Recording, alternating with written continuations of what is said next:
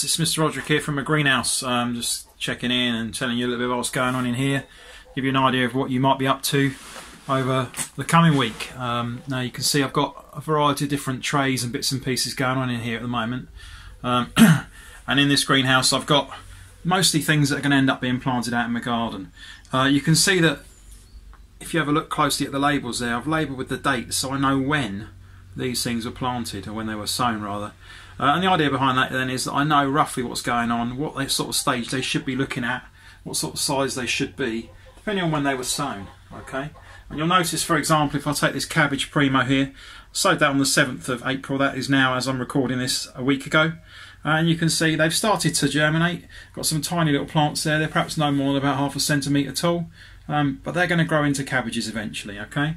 And then if you look over here, the cabbage primo that I did, same variety, but seed sown about two weeks before, different size there, okay? And obviously the reason for that is so that I then know if there's a problem, uh, I can figure out, you know, well, perhaps I need to chuck these seeds away, maybe I need to start again and it's easy to spot the problems then if I know when they were sown. If I haven't bothered to put the date on there, and this was the size that they were after two weeks, I mightn't realise that there was a problem, and I might just con continue with those and wasting space in the greenhouse. Um, so to give you an idea what we've got going on in here, we've got spinach, really good crop for you guys out there. Uh, it's a great one because it grows really well, it's really reliable, uh, and really quick to grow, and in fact you can start harvesting that in a few weeks now. It's only two weeks old, but in about three or four weeks time I'll be able to start harvesting from that, and I should then be able to continue to harvest that throughout the summertime. Got some different types of lettuce. This one, Marvel of Four Seasons, another great one. Uh, it's a good cut and come again variety, so I can cut that down and that'll grow back again, and I can keep cutting that three or four times through the summer, and it will keep coming back. Okay, and then I've got alongside that some cos lettuce, which you guys will be more familiar with perhaps, those big romaine hearts that you can buy in the supermarkets. And you can see these are quite small still at the moment, but these are ones I'm going to cut the whole head down and I'm going to eat that when it's ready. Okay, and that'll take a bit longer to get to that point as a consequence. I've also then got some cabbages, the primo that I pointed out there, that's like a white cabbage like you might use for making coleslaw or something like that okay? Uh, that's going to come along. And I've got this other other cabbage variety here called Greyhound. Another really good one because it grows really quickly. And at this time well, it's getting a bit easier now to get hold of a few things if you can get delivery slots and things. But if you're looking to try and grow something that you're going to be able to feed yourself with this year it's a great great variety if you can get your hands on the seeds and then finally over here I've got my Oregon sugar snap peas and for those of you that did horticulture with me last summer uh, you guys Toby Caleb and Emmanuel and who have I forgotten there? Charlie and Alfie. You guys that were involved out there with us and Billy as well. We really enjoyed having these sugar snap peas because they eat really well just fresh straight from the plant. Okay, you can cook them, of course you can, but they come out a bit like a, a big fat mangetout with little peas inside. Really, really tasty. And you can see the different sort of pots I'm using here. Lots of different types of trays. Most of them have been recycled. Okay, but I've also got over here look, an old tatty old window box. I filled it out with some compost and I put a cut gem, come gem variety in there called uh, salad bowl. Okay, and that's one that you just, again, you cut it down when you want to eat some and you let it grow back again and you keep doing that until it starts to look a bit stringy and it's not so good. Uh, so that's just some ideas of what you can do, what your greenhouse might look like if you're working with a greenhouse. Uh, one other thing to say though, there's lots of different ways you can make a greenhouse. It might be that you decide, I know, I'm going to get one of those underbed storage tubs, tip it upside down on the ground in the garden, just so that it's clear plastic just over top of some of these trays. That will do the job. All you're trying to do is just raise the temperature inside by two or three degrees. What you'd have to watch with that is a bit of ventilation. So if it's a hot sunny day like we have had a few lately, you might want to just turn it over during the, the heat of the day, sort of midday to late afternoon, and then cover it back over night time. Okay, but you could do the same thing with a bit of clear plastic. I've got some bits of um, clear plastic lying around here, but you could do it with, I don't know, an old plastic bag. As long as it's clear and it will let the light through, that will do the job. It's just trying to raise that temperature just a couple of degrees, and that will help this type of crop. These ones that don't mind a bit of cold, it will just help them grow a tiny bit quicker. Wouldn't recommend it for things like your tomatoes. Uh, they still want to be kept inside, but things like your lettuces and that, they'll do all right outside actually at this time of year. But if you want to try and speed them along a bit like I am by putting them in the greenhouse, then there's just some ways you might want to try and do it. Anyway, I hope you guys are taking care out there, looking after yourselves and keeping busy. I know lots of you are because I've heard from a few of you. Um, but keep in touch and we'll uh, we'll hopefully see you in not, not too distant future. All right, take care. Bye bye. Okay, lads. Um, so I'm back here. I was just remembered I was talking a little bit earlier on about uh, the greenhouse. It occurred to me that not everyone's got a greenhouse at home. So thought about ways in which you could kind of make use of what you've got at home to make a little space to grow some things under. It's really important to say that most things actually this time of year don't need a greenhouse. You get by without one, no problem at all. Um, you would need to keep things that are warm weather crops like tomatoes, beans, courgettes, that sort of thing, sweet corn. If you're sowing any of those things already, you're probably a little bit on the early side really for most of you to be doing that. But if you've got those, they want to be kept inside in the warm overnight especially. Get them outside on a warm sunny day like it's been today. Um, but nighttime definitely want to be inside. Other stuff like lettuce and that can go outside no problem from now on. Brilliant. And while it's been warm like it has been, no problem at all. But if you wanted to try and bring things on a bit quicker, I've just brought out a little tray here of spinach, okay? It's one of my little trays of spinach I showed in the other video earlier on. Just wanted to show you how you can just use some stuff you've got laying around in your garden to make something that's going to just help them a little bit, and in particular overnight. So I've got a bit of old plastic here. I think this came from a roof or something. I'm a, a bit of a womble. My wife will tell you. If you don't know what womble is, by the way, ask your grandparents or your parents. They'll tell you. I like to try and make things, keep things hanging around, and occasionally they come useful. But you could do something just simple like that, with a piece of plastic like that something to weight it down, stop the, the, wind from blowing it away. Keep that under there overnight and that'll be just fine. I wouldn't recommend leaving it outside like this under cover in the daytime, especially not in full sunlight. It'll get too hot. But certainly for just covering it over at night time, brilliant way of doing it if you've got something like that. Um, more likely to have maybe one of these old plastic underbed storage containers, something like that. Again, similar idea. Stick that down on top there, you get a couple of trays under there, no problem at all. Just gives them a little bit of extra help overnight, keep it a bit warmer. Okay, or you could do it perhaps with the other part of the underneath underbed storage. And with this one in particular I'd be really careful. This is going to get really hot in here. Um, I certainly wouldn't want to see anybody just putting it flat on the ground like that. It's going to actually roast in there. You definitely want the ventilation getting underneath. But if you did something like that again that's going to keep the, the cold air off the top of it. It's going to give it a little bit of help okay? So that could work. If you haven't got any of those things you've just got a bit of old plastic bag here look again this could be made to work you know like Get a little pair of scissors. like the old Blue Peter here now, except I didn't bother to make this one earlier. Here we go. So, just give that a little cut. Flatten it out. Now, it's more likely to move around in the wind, so it's going to need a bit more weighting down maybe. I've got a couple of bits of old slab here, that'll do that job. Look at that. That's not going anywhere. And again, that's going to do that job, just giving it a little bit of extra help overnight. And like I say, they don't need it. If you've got it and you can do it, it's just a little something to do. It's great. It does help them along a little bit. They certainly will go grow quicker. And if you're in a hurry to get your crops, great idea. If you're not so bothered, spinach just like this can go outside, just like that on the side. It'll be fine. Wants to be a bit of sunshine in the daytime, but be aware the pigeons might like it and they might well eat it for you. So just be careful with that. Anyway, just a few ideas of some things you can do. Perhaps if you've got a few of these bits laying around in your garden. Have fun with it, guys. Cheers.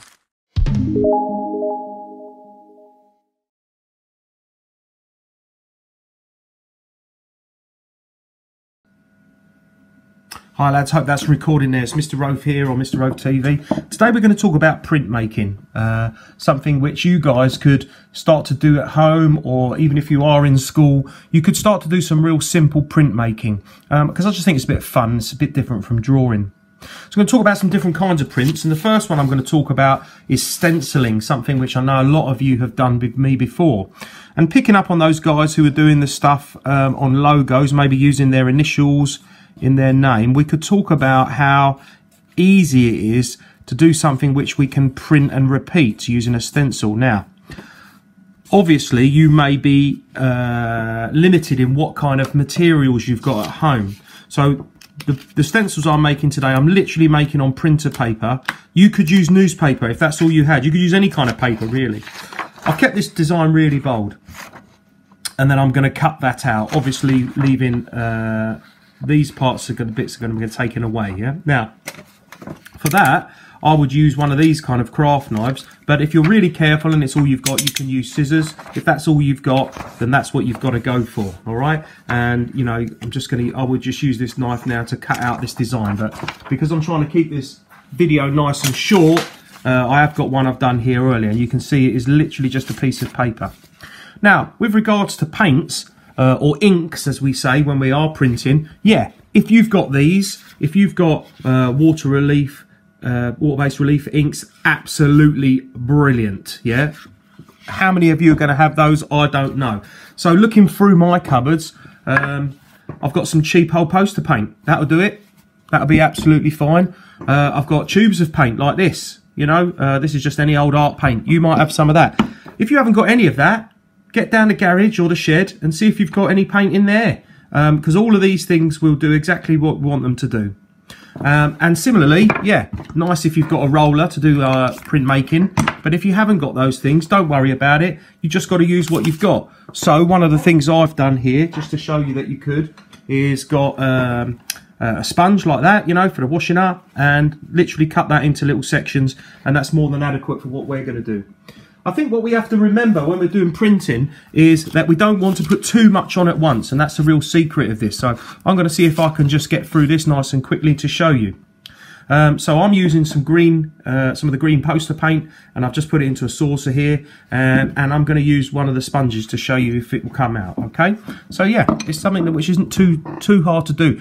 Again, though, what I was saying is, I think you should try to not use too much paint in one go. I think if you try and put loads on, I think that's when it might start to get a bit blurry and stuff.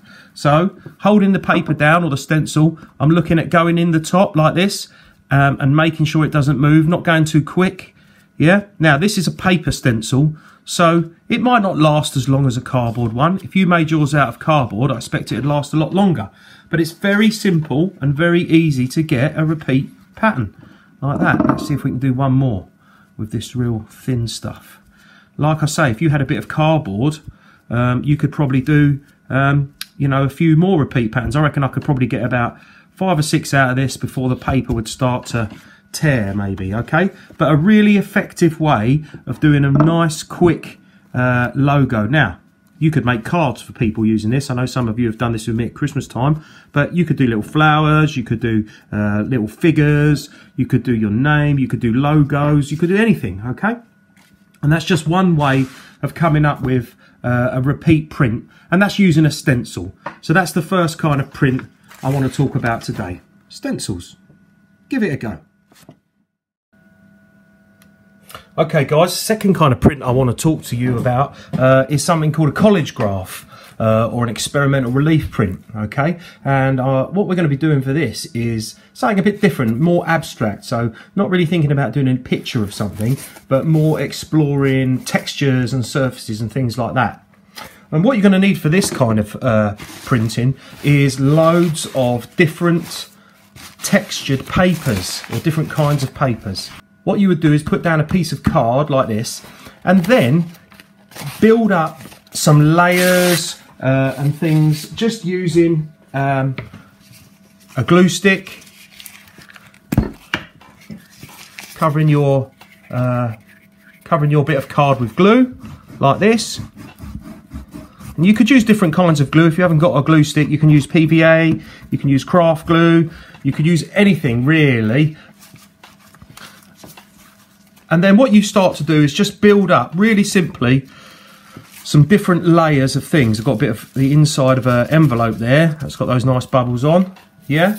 Uh, I've got a piece of netting. I think that came out of a bag of onions or something like that.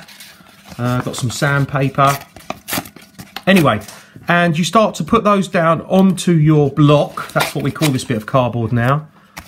Just to create a pattern.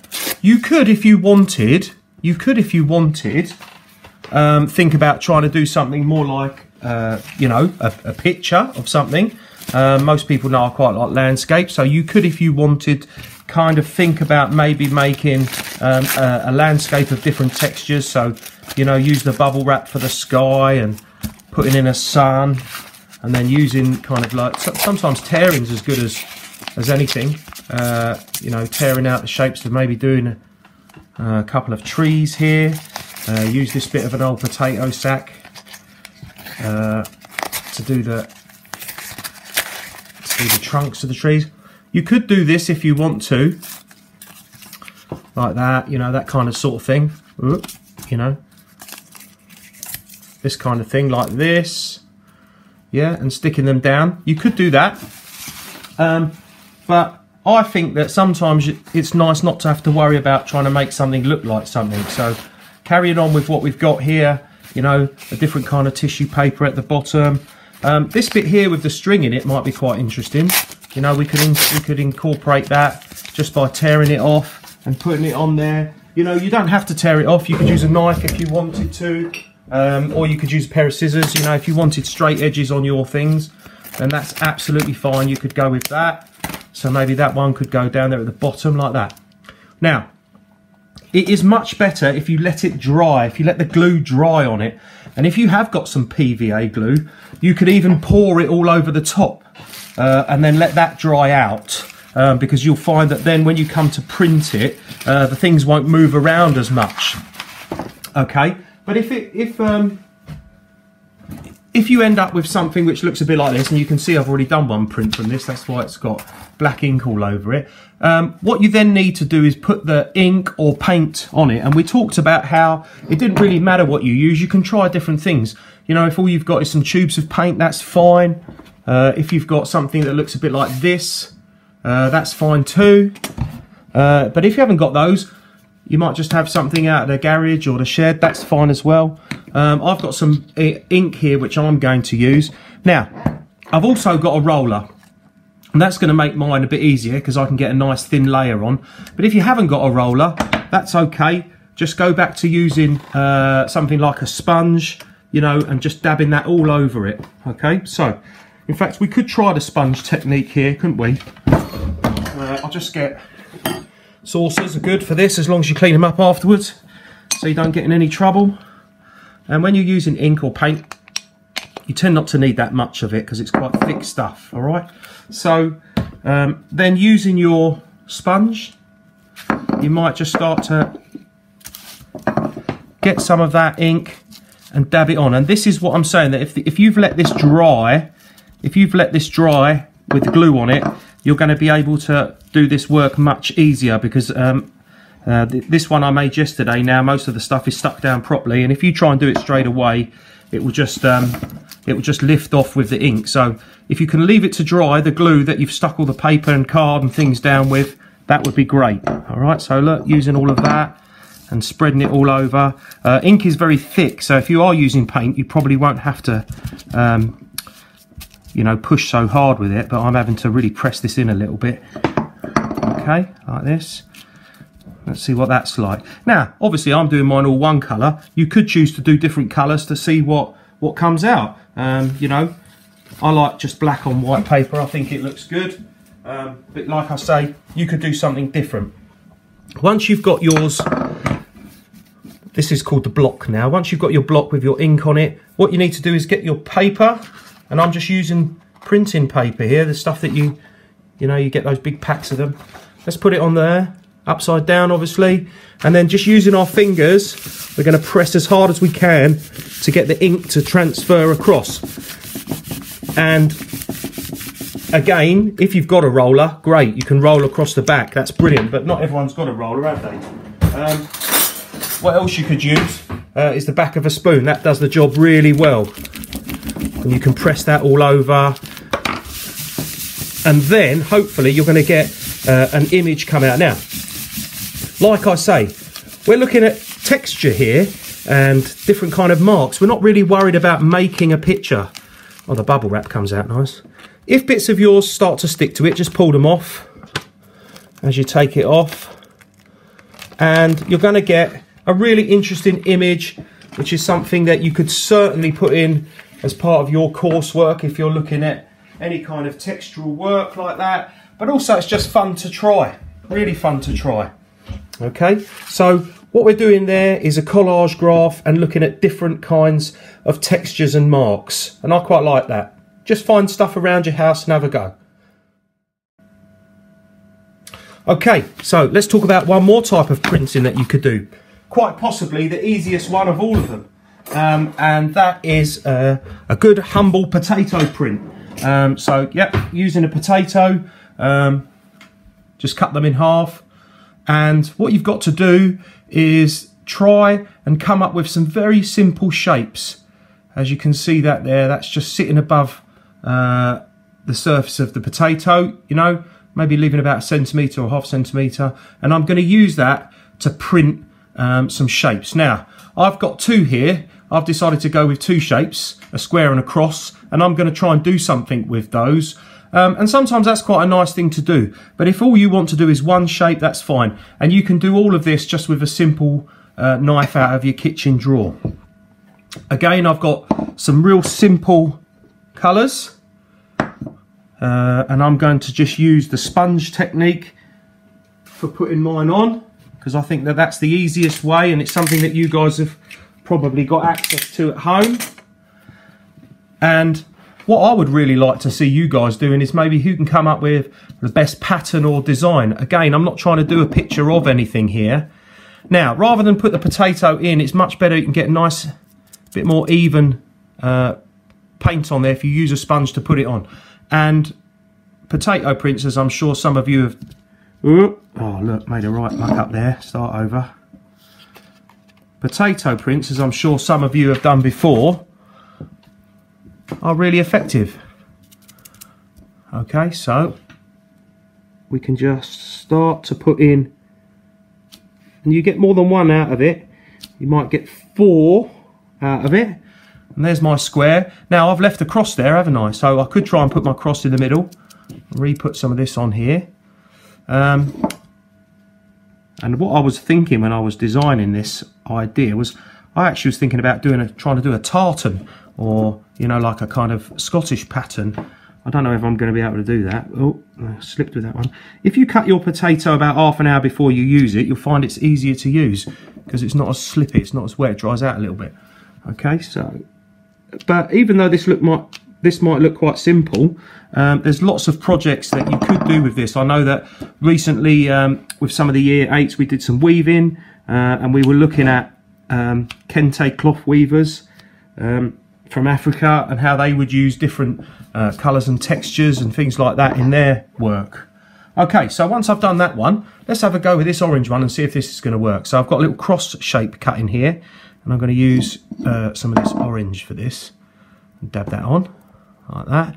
Now, these are just paints out of my cupboard. I don't know how good they are or whether they're going to be any good for printmaking. But rather than go in the gap here, so rather than put the cross there, I'm actually going to try and put the cross in the middle of each one of these green. Uh, see, it's a bit crooked though. Uh, I'm actually going to try and put the cross in the middle of those green squares to create a different kind of pattern. Yeah? Quite like that.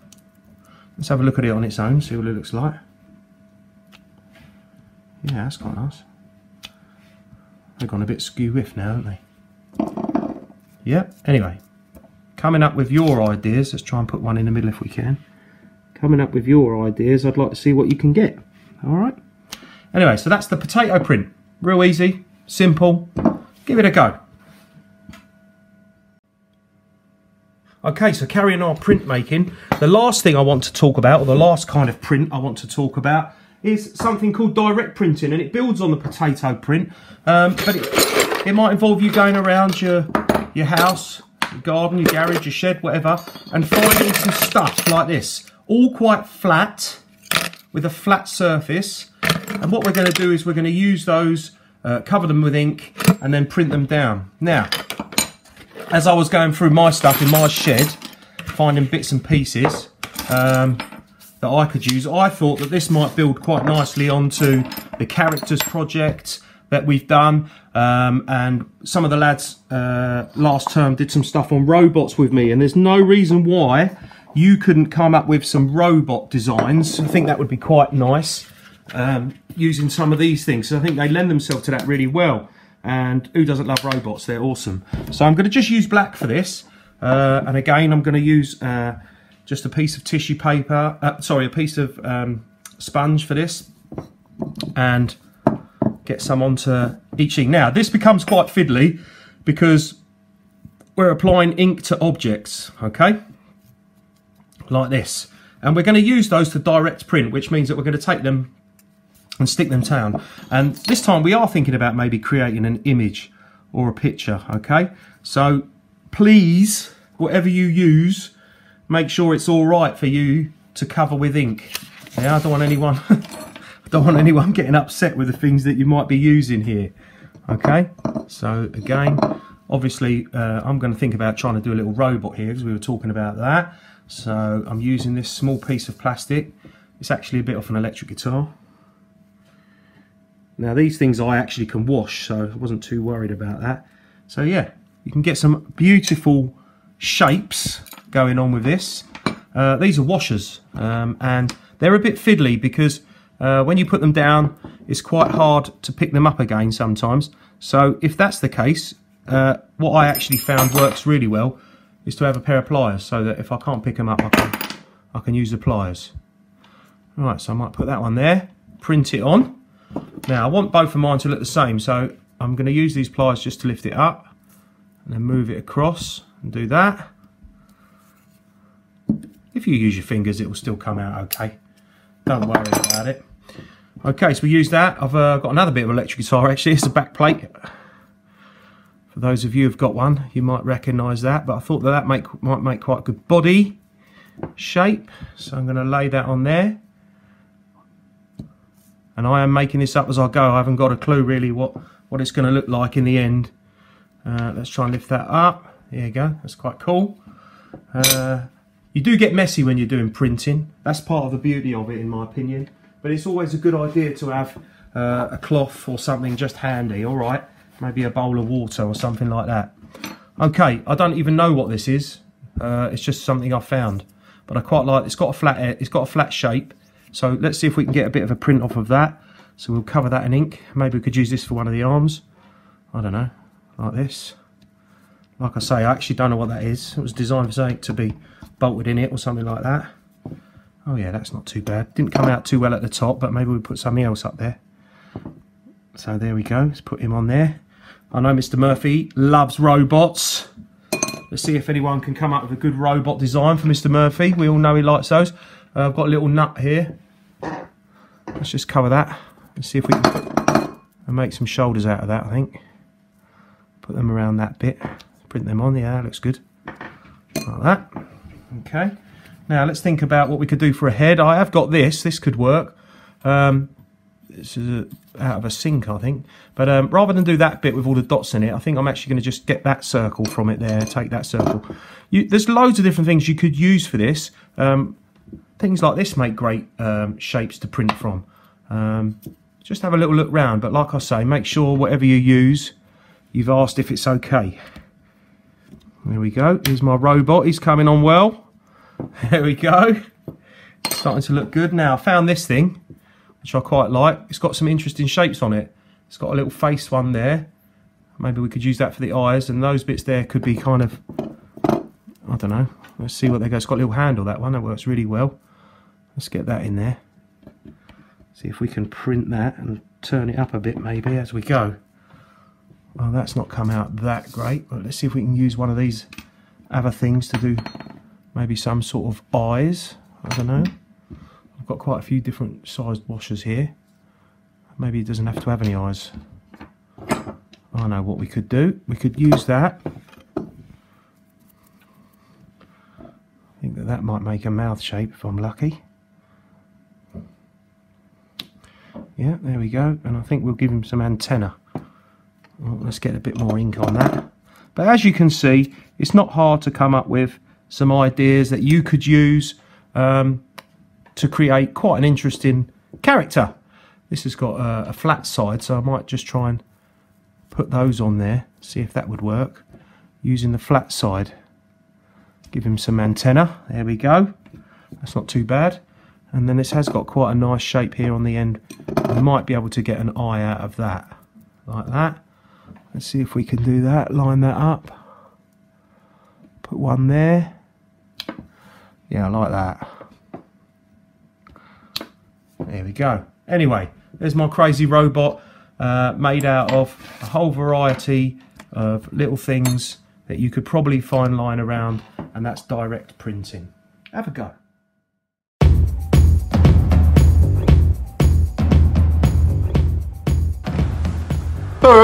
Boys. I was suddenly panicking because I thought they must be missing me so much, not getting to see me on a daily basis at school and laugh at my hilarious dad jokes. But don't worry, we've come up with a solution. I've now got a slot on Mr. Rofe's TV, which means you can watch me on YouTube and laugh at me to your heart's content. You're welcome. So, what's been happening in my life since quarantine, I hear you ask? Uh, I've been growing a beard. You thought I was Mr. Rofe for a second, didn't you? I know. I gave myself a quarantine haircut. Word of advice don't give yourself a quarantine haircut. My family say I've put on a little bit of weight recently, but in my defense, I've had a lot on my plate. In this video today, I'm going to be talking to you about a home workout you can do, which will be mainly body weight exercises, but with a little bit of weights, which you can make yourself at home, and I'll show you that in a second. Before we move on, we should probably talk about the other workout video by Mr. Stennin. That is a sentence I never thought I would say. A workout by Mr. Stennin. wow. Hats off to him. In this video, I'm afraid there will be no superhero costumes. But then again, why do you need a superhero costume when you look like a superhero? Let's go. Okay, before you work out, you've got to make sure you've done two very important things. You have eaten at least half an hour or an hour before, like a bowl of cereal or a banana, something that's got some sugar in that will slow release whilst you're working out. Second thing is make sure you have hydrated yourself. Drink lots of water before you work out because you don't want to go and faint, especially if you're working outside. The weather's really hot at the moment. Make sure you've eaten and you're staying hydrated. I've already had 24 Weetabix today. Gains, the fact that they're mini Weetabix has got nothing to do with it. I've had 24 Weetabix. Eat, hydrate, let's go. I hope you're really appreciating these high five transitions because, I mean, who's ever done those before? So original. What you're gonna need to do is head to the fridge. Now I want you to grab two four pints of milk. Okay, hats on, t-shirt change. I've got Thor to support me and we are ready to work out. I'm going to talk you through the exercises you can do for all your different muscle groups with the milk bottles and also bodyweight exercises. So we're going to start with shoulders and that involves five different exercises. The military press, then we're going to do the Arnold press, then we're going to do the Cuban press, then we're going to do lat raises, front raises and that's shoulders done. So grab your milk bottles. As you can hear, I've frozen mine because it makes them heavier.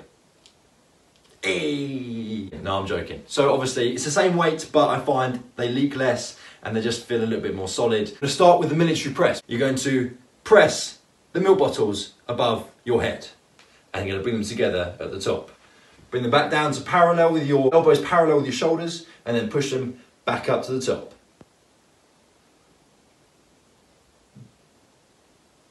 I'm now going to show you the Arnold press, which is very similar to the military press, but a little bit more difficult because instead of stopping your elbows at parallel, you're going to bring them down and round and try and touch your elbows together or the milk bottle bottoms together. You're going to bring them back up, push up into a military press, down, elbows together, milk bottles together, circle around, push up. Yeah. The next one is a Cuban press. I have no idea why it's called a Cuban press, but that's what it's called, so deal with it. You're to hang your milk bottles down by your waist, and then you're to put a little bit of a bend in your arms, and then you're to go into the fly position, and then bring the milk bottles up, push above your head into the military press. Down, up, down, up. That's a technical term, that, down and up. Hope it makes sense. We're now going to move on to lateral raises. So, instead of hanging your arms just straight down by your side, you're to pretend to be a chicken. So, bar, bar, bar, bar. I'm to bring up your elbows parallel to your shoulders, keeping your arms bent. Not straight arming it, not swinging it up. It's quite a controlled movement. Elbows parallel your shoulders. If you find this really easy, just slow the movement down. And soon you'll get that burn, and that'll give you that bolder shoulder, which gives that triangle Dorito look. And let's be honest, everyone wants to look like a Dorito. The last shoulder exercise is going to be the front raise. Keep your arms slightly bent, and you're going to quite simply lift them in front of you. Try and keep your core tight as you do it. Parallel with your shoulders, back down. I don't want to see you swinging. When you're leaning back, keep nice and upright, chest out, raise them up and down. So that's your five shoulder exercises. To keep it simple, with every single exercise, you're gonna do four sets of 10 reps. And if you're feeling really strong, do five sets of 10 reps. But that's with all the exercises. Now that shoulders done, we're now gonna move on to a couple of back exercises, starting with the bent over milk bottle row. Keep your chest out so your back is straight. I don't wanna see you arching like this. Pull your shoulder blades together, chest out, head up. Bend your legs slightly, and then you're going to quite simply pull the milk bottles up your leg so they're touching, so you're wiping your leg, and then you're going to squeeze at the top, and I want to keep your elbows really locked in. None of this, locked in. Down to your knees, pull up and you get a nice squeeze in your middle of your back. Once again, four sets, 10 reps. We're going to do one more back exercise, which is the bent over reverse fly. So similar position to the bent over row. You're going to hang your bottles down in front of you, chest up again, and now going to pull your shoulder blades together, chest and shoulders towards the floor. Nice squeeze. If you find the movement easy, slow the movement down. Okay, now my favourite muscle group to train is my legs. We're going to start with a squat. I think this is called a goblet squat, but we're going to call it the milk bottle squat because, well, we're using milk bottles and because I said so. Bring the milk bottles together in front of your chest. Feet shoulder width apart. Touch your chest. Squat down. Try and keep your chest up. Head up. Squat down.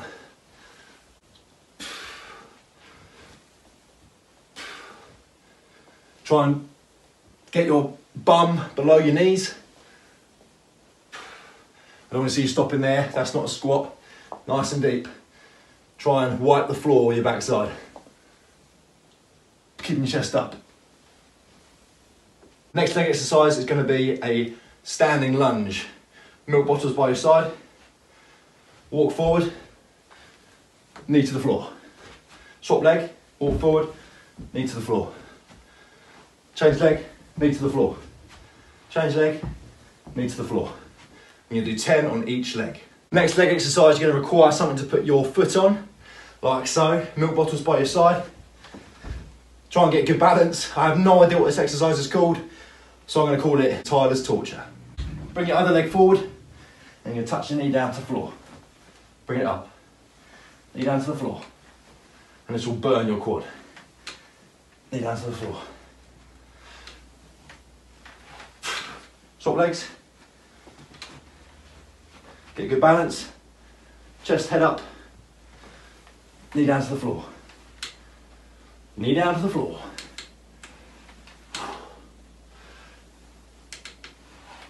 Once again, 10 on each side, and that is legs done. So we've done shoulders, done back, we've done legs. We're now gonna do chest, but this one's gonna be body weight exercise, and I'll show you what to do. Okay, for chest, we're gonna keep it really simple. We're gonna do press ups.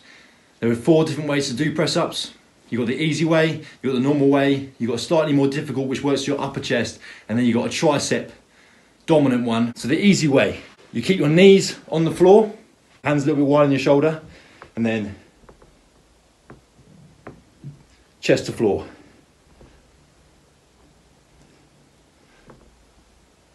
If you want to make it a little bit more difficult, you're going to bring your knees off the floor, keep your body straight, rock forward a little bit so you're on your tiptoes.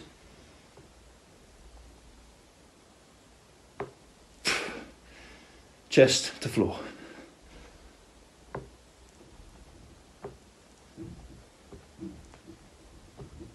Next shoulder exercise I'm going to show you is a little bit more difficult and it works a little bit more of your upper chest. But you're going to need to put your feet on something. So a chair, a sofa, a bed. Rest your feet on the sofa so you get more of an angle. So your feet are higher. Press up again.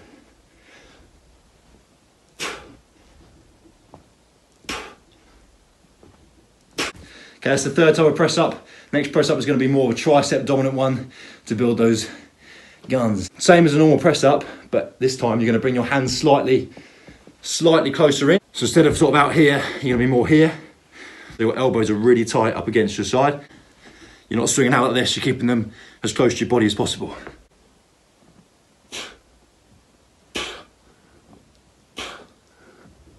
So, after you've done chest, as you're on the floor anyway, you're going to move on to abs, and we're going to be starting with a plank. You're to do four rounds, so four minutes, so a minute on, 30 seconds off. Bring your knees up and put yourself in the position of, I'm trying to think of the object. What does it look like? Oh, yeah, a plank. Keep your body straight, core tight. You're going to do a minute on. It'll be the longest minute of your life, especially after round three. Oh, I never train core, and I should train core. I'm now going to start training core. so you've done a minute on, 30 seconds off. You're now going to do sit ups. Rack your chest with your hands. Feel that you've worked out your chest. and then you're going to just move your back down to the floor, giving your core tight. Up to your knees. Shoulders to the floor.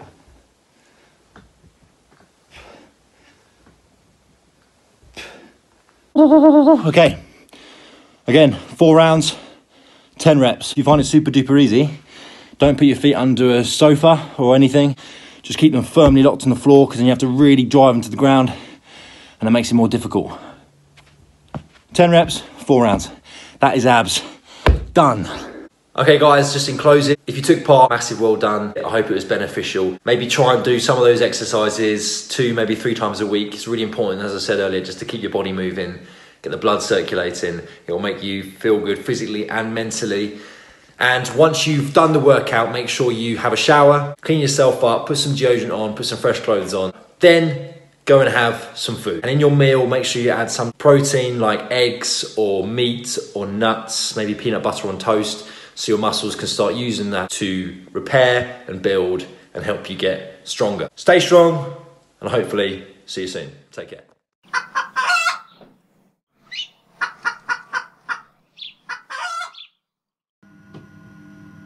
Okay, boys, just want to run you through something I've been doing at home here. Uh, some of you might recognise from the art, recognise this from the art room, uh, where we've hatched out uh, chicks before. So this is a little egg incubator, as you can see, and I've got um, some bantam Sussex chicks in here, and you can see that they're. Uh, let's see if I can get the eggs. There they are. There, yeah. Um, and I'm using this to incubate them. So this is doing the job that the mummy hen would have done um, sitting on them, keeping them warm, and hopefully, if things go well, um, in 21 days we'll have some uh, chicks come out. Okay, and I'll use those at home. Obviously, have those out with my other hens, but I just wanted to show you here in this picture uh, the sort of thing that's going to happen inside the egg. Um, and you can see that it starts off quite a small little embryo, you've got the yolk there, and that's what it's in. And you can see this air sac at the top, that's what it uses uh, to breathe. And as it gets bigger and bigger, goes from this one to this one, uh, and then down to here and up to this one. You can see the uh, chick full size here, ready to hatch out. Yeah, as it goes through these different stages, obviously, you can sometimes, if you shine a really bright light, here's a bright light that we're going to use, you can actually candle the eggs. That's where you, you go into a dark room and you shine the uh, light through them and sometimes you can see what's happening so I'm going to try and give that a go today so you guys can see uh, what's going on and I'll also try and keep you up to date with what's going on okay um, so yeah let's give it a go and see how it looks one of the things we can actually do is take the lid off of here just very briefly it won't actually hurt them or anything uh, mum would do this if she was sitting on the eggs because uh, obviously she'd be getting up to go and eat and drink and stuff. So you can see that it's just a plastic box. Uh, these are not too uh, expensive to buy. They're running at about 50, 55 pounds now if it's something you want to do at home. Um, and inside this one is a little turning mechanism. As you can see, as this moves uh, backwards and forth, it actually turns and rolls the eggs. And that's really, really important for good egg development. Um, really, really important for good egg development. Um, these lines that we've drawn on here, I'll just briefly explain. They're showing the um, size of the air sac inside the eggs because that's sometimes a, uh, an indication of what's going on or how long the eggs have been in there and stuff like that. So yeah, you can move them about, it's not a problem. Um, but yeah, really important just to check that they're rolling well every now and then like this because uh, you don't want them to get stuck in one particular place. Um, so yeah, and uh, just put them back on and I have to make sure that uh, the little metal pin there is going into that groove otherwise otherwise uh, it won't turn them as it should. And then really important that the lid's on properly like that. Okay so yeah we'll have a look inside them now okay? Um, this is reading a bit low now because we've taken the lid off but it will soon come back up and that's no problem for the uh, for the eggs. Because obviously like I say the hen would be doing that anyway. So yeah let's see if we can candle them and see anything inside. Okay, we're candling the eggs here, and I know it looks a little bit like a, uh, a very blurry mess but what we're going to try and do is show you what the eggs look like as we turn them around and we might be able to see things and see if we can see it moving. So let's just turn it around a little bit if we can. So as it comes round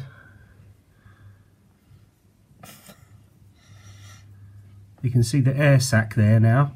So as you can see this sort of semicircle of um, light at the end, that's brilliant if you just hold it there. That's the air sac at the end of the egg and that's what the chick inside the shell is using to breathe. I'm going to try and get in close because you can see some of the blood vessels there, but I think if we turn it a tiny bit more, we might be able to see a bit more. Let's see if I can lighten this up a bit. There we go, that's it. No, that's not so good. Let's keep twisting it round. There we go, that's a great bit there. We can see the blood vessels now on the inside. And if hopefully, we might even see it move a bit, but it doesn't always want to be obliging. So you can see all the blood vessels on the inside of the egg, and that's where the um, developing embryo is attached to the yolk, what it's feeding off of. And you can see a darker bit at the bottom, that's the, the main body of the chicken. Sometimes you can see, oh, oh, that was me, missed it then. That just did a big move then, didn't it? You can see it moving around a little bit. Right, so here you can see on the egg that there are veins, which means it's growing. And as we turn it around, you might be able to see a black bit there. That's the dark egg spot, of the eye. And keep turning it, we might even see it move.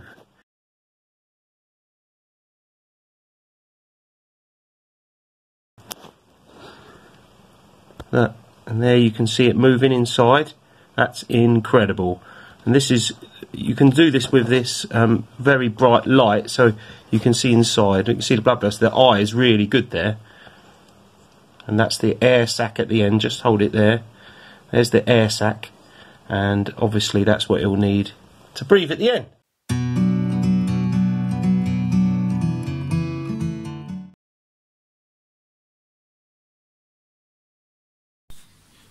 Right lads, uh, welcome to my kitchen. Uh, it's Mr Roderick here again. Uh, I'm going to do a little uh, food tech lesson, believe it or not. I know Mr. Brown's normally your food tech teacher, but uh, some of you might know that I quite like a bit of cooking myself. And I'm going to lay down the gauntlet to Mr. Brown on this one. Uh, I'm going to show you about making some fresh pasta uh, and the challenge is out there now to Mr. Brown to see if he can show us some of his favourite store cupboard sauces to go with your fresh pasta, Jamie Oliver style. So uh, you, Mr. Brown. Now, those of you guys who might have done this before probably be familiar with this recipe. And it's a great activity uh, not only for just for the fun for do, of doing it and keeping yourselves busy, but for the whole family to do together.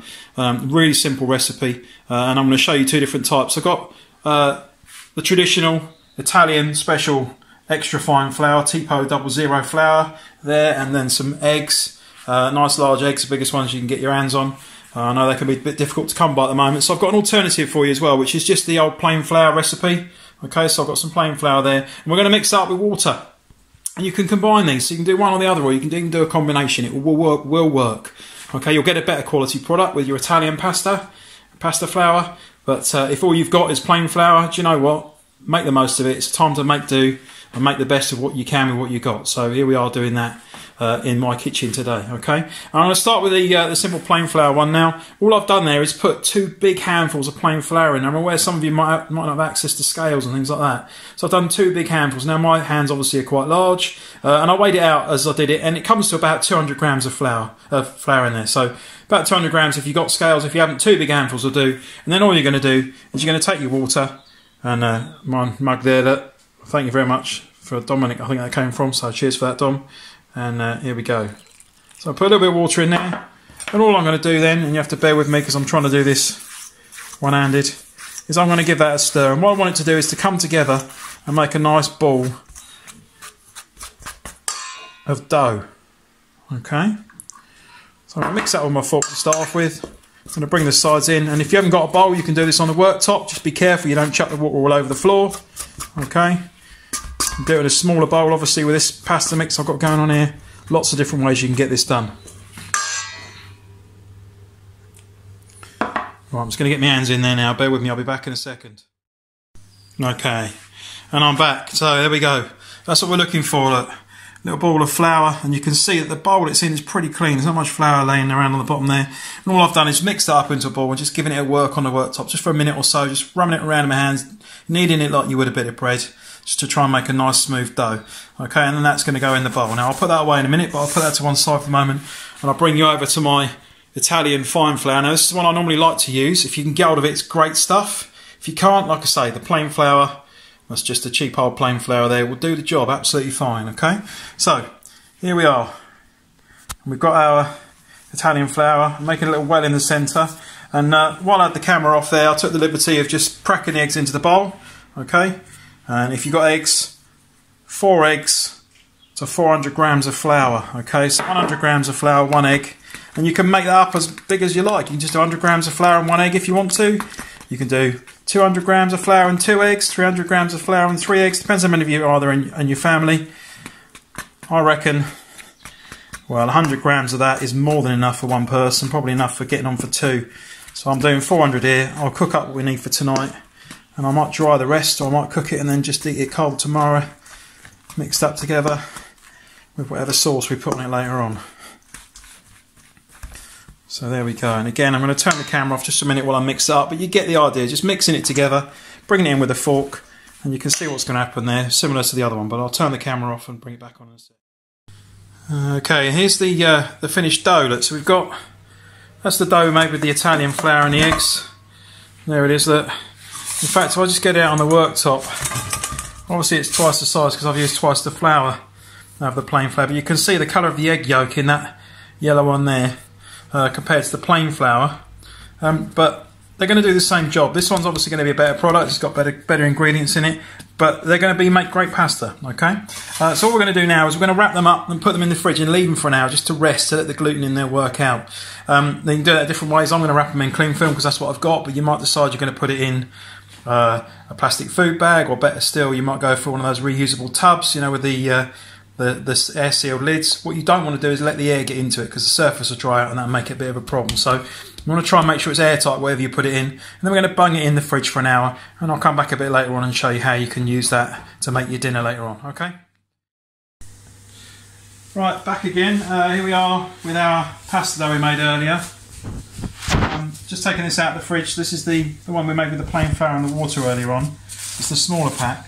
Now, I'm going to show you how you're going to use this and the first thing obviously is to take some of it out. Now what I'm actually going to do is cut this into four, okay, which gives me four pieces that got about 50 grams of flour in. What I'm going to do is keep the bits I'm not actually using wrapped up to keep them nice and moist. I don't want them getting dried out, okay. And then the one I've got here I'm just going to roll into a ball. Now if you are lucky enough to have access to one of these pasta machines, I know some of you will have used them at school, Mr Brown, that's fantastic. They're brilliant, they do the job really, really well, but I'm going to show you how you can do it without one of those at home, okay? Now I'm lucky again, I've got one of these little flour shakers. If you've got it in a thing, you can just chuck it like Mr. Brown would showed you at school. I'm sure it works too. And again, if you've got a rolling pin, brilliant. You can use that nice and floured up there. Or failing that, the old cling film roll works really well as well. So you can just give that a flour you literally just use it like a rolling pin, okay? And you're gonna roll it out. Now I want it quite thin, this pasta. And I've deliberately taken a small piece to make it a bit quicker to show you on the video.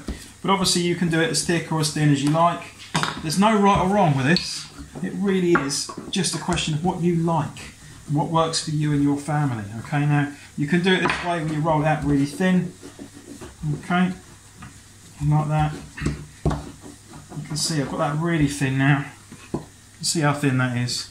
What you can then do is fold it up a bit Go like that. Cut it into nice thin strips.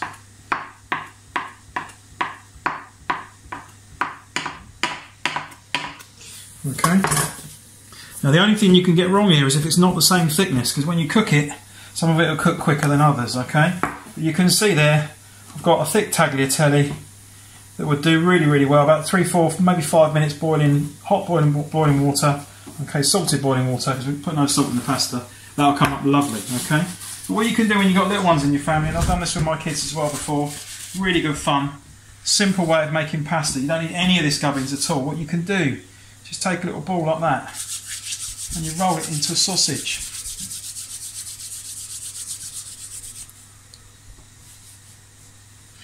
Okay, you roll it into a little sausage like that, and you can literally.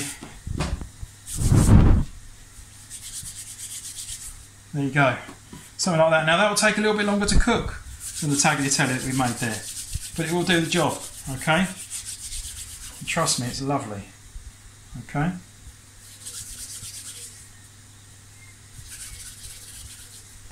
Now you can go with all sorts of shapes. You can get really creative with this. Like I say, the only thing is to try and make them all a similar thickness so they cook at a similar time. So I wouldn't cook this one at the same time as I'm cooking this because this is slightly thicker in places, okay? But all you're then going to do, bring that over, and I'll just do a little example now.